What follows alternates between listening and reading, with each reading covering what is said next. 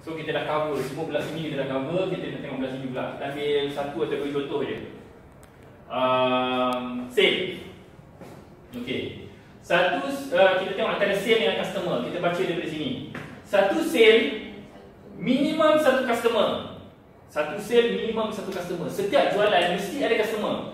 Kalau kita buat satu sale zero customer, maknanya ada jualan yang tak ada customer. Ini maknanya fictitious sale. Ini bermakna kita membenarkan kita buat macam yang jualan tetapi tak ada customer pun.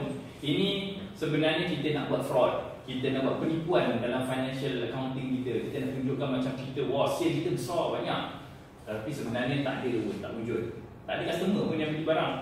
Jadi tak boleh macam tu. Jadi kita satu sale mesti associate dengan satu customer. Satu sale mesti ada satu customer.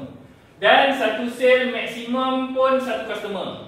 Kan, tak adalah anda semua pakat-pakat pergi dekat lawyat nak beli satu laptop. Anda ramai-ramai pergi dekat kedai tu. Kami nak beli satu laptop. Kan? Lepas tu orang tu kata, okey saya nak tulis ni, saya nak tulis di sini, nak saya nak tulis atas nama siapa ni? Atas nama kami semua, kan? Ha, 40 orang tulis nama dalam satu sita. Kan? Seorang juga yang kena beli. Lepas tu kalau nak kongsi laptop tu, kongsi pada-pada lah kongsi kan. Tapi satu orang yang beli, bukannya 40 orang yang beli. Kan? Satu benda. Okay. Jadi satu sale maksimum satu customer saja. Ini logik. Ini logik eh. Satu customer sekurang-kurangnya kosong sale. Ha, satu customer sekurang-kurangnya kosong sale. Ini pun biasa juga. Kan? kan? Kadang-kadang kita pergi uh, Aeon kan. Kita pergi orang kita nak pergi cari kita nak beli seluar. Kita pun pusing kan jalan-jalan lepas tu ada orang yang belakang kan. Ha, orang kan. Tunggu je kita. Kan untuk ambil satu seluar dan dia akan nak tulis kertas itu kan. Tapi kita main pusing, kita boleh nampak dia ikut belakang kita, kita pun jalan macam jual kan. Akhirnya kita keluar. Kan? Kita tak suka orang ikut kita. Jadi customer tak semestinya berlaku sale. Walaupun dia customer kita, potential customer tetapi tak ada pun sale. Okay? Jadi satu customer sekurang-kurangnya kosong sale. Dia datang, window shopping je punya. Okay? Tak beli pun. Satu customer maksimumnya banyak sale. Uh, maksimum yang ini pun memang memang logik lah kita nak repeat, repeat customers kan. Dia datang dia beli barang daripada kita lepas tu kita pun nak dia beli lagi dia beli lagi beli lagi kan? Ha. kalau tak apa kita buat? Kalau kita letak satu situ kan? Dia datang beli barang kita kata okey terima kasih selamat tinggal. Kan? Lepas tu esok dia datang lagi dia kata awak dah datang semalam kan? Kan? Kami sesungguh berbahasa besar hati. Tetapi Uh, kami punya polisi satu pelanggan satu kali sale je. Kalau awak nak beli barang yang sama ni tu kedai sebelah pun jual barang yang sama kan? Awak beli daripada sebelah kan? Kalau boleh kita tak nak macam tu. Kalau boleh kita nak semua pun kita bolot kan?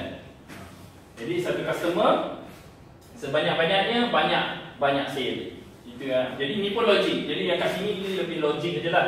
Dia tak ada apa-apa sangat polisi. Uh, memang logik. Kalau kita ubah dia jadi tak logik kan? Okay, antara sale dengan employee. Uh, jadi employee ni ialah pekerja yang menguruskan sale lah. Dia ni mungkin salesman ke apa ke. satu sale sekurang-kurangnya satu employee adalah seorang yang tolong jaga yang melakukan sale tu. Kan? Tapi kalau macam yang yang macam jual jual kuih, jual makanan ni kat tepi ni, tapi tak ada orang tolong jaga, dia letak aje dia kuih dia. Dia letak aje dia punya apa ni kotak tu. Kan? Tak ada orang jaga, orang masukkan duit, kita nak anggap apa? Ada salesman ke tak ada salesman?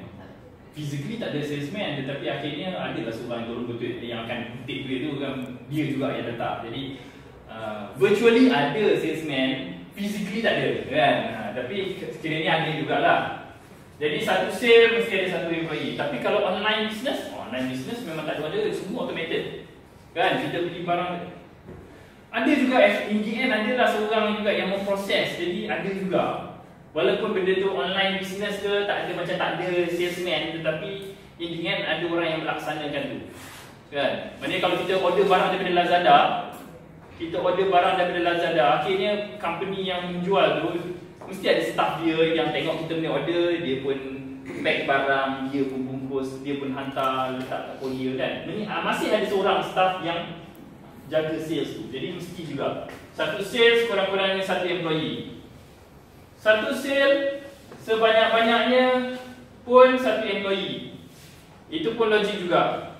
Kalau satu sale boleh jadi banyak employee, Kan, kita pergi dekat Aeon tadi, kita nak beli satu seluar. Kita pernah ambil satu seluar tak satu Lepas tu, seorang, dua orang, tiga orang staff dia datang. Semua pegang kertas kena tulis Kan? Kan, kita tahu yang mana satu ni? Lepas tu dia yang dia semua. Semua kami nak, semua, semua nak kan? Uh, mesti ada seorang saja kan Dan kalau seorang dah sampai, yang lain tu Kena pergi lain lah. Kan? Tapi biasanya dekat Aeon dia dah in charge lah kan? Seorang tu dia memang in charge kawasan tu. Kan, kadang-kadang kita pergi, kita kata, mana orang ni? Lepas tu kita pergi kat department sebelah. Siapa yang jaga tu, dia kata, ah nanti kejap dia keluar.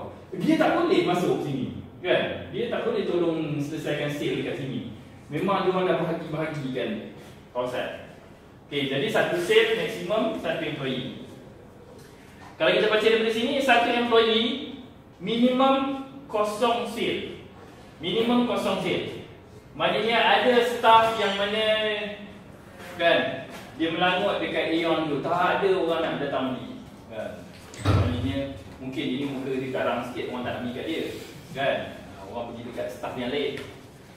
Satu satu employee sebanyak-banyaknya banyak sale ni pun logik juga kan kita ada kita kita satu company yang jual used car. Kita jual kereta kan? Kita ada salesman kereta kan? Lepas tu ada orang datang beli daripada satu salesman. Salesman pun seronok lah kan? Dia dapat commission daripada jual kereta. RM5,000 ringgit dia dapat. Lepas tu kita pun approach dia kata-kata ok terima kasih atas perkhidmatan anda kan? Oleh kerana anda telah dapat satu sale polisi kami ialah satu employee satu sale maksimum jadi anda di, di segala hormat ni diminta berhenti kerja kan? Bagi peluang kepada orang lain juga kononnya kan? Sebab satu satu employee kita letak satu sale tapi tak logik lah kan? Kesian lah orang tu. Jadi kita buat satu employee Sebanyak-banyaknya banyak sale Jadi pun logik. Jadi kalau kita ni kita Kalau kita tengok berdasarkan logik tu Memang kita boleh apply Macam ni lah. Maksudnya sama je. Kita tengok semua pattern dia Sama Kita tengok pattern dia sama. Okay